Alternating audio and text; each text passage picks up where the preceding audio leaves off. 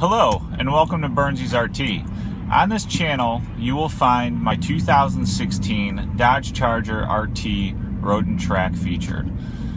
I also do weekly Mopar Community Members of the Week which I go out and highlight another channel.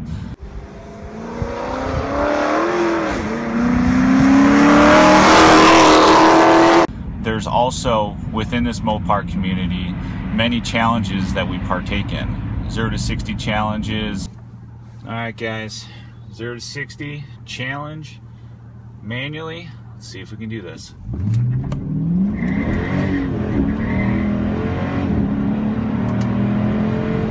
Oh, yeah! Cold start exhaust challenges.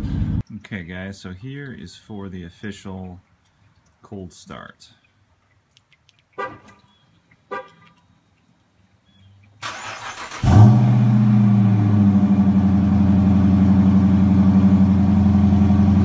Um, just things to keep things fun and interesting. So why don't you look below in my favorites, check out a few videos, and if you like them, subscribe, and also become a part of this awesome Mopar community.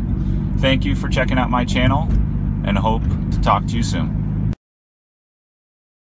So for my intake, I have the stock air box, but I um, fabricated my own intake tube to go in between the throttle body and the air box. So what it is, it's a three and a half to four inch elbow there, the air intake sensor, um, followed by a four a six inch long four inch tube, and then a uh, four to 4.5 inch um, reducer there to connect it to the airbox. So that is my intake.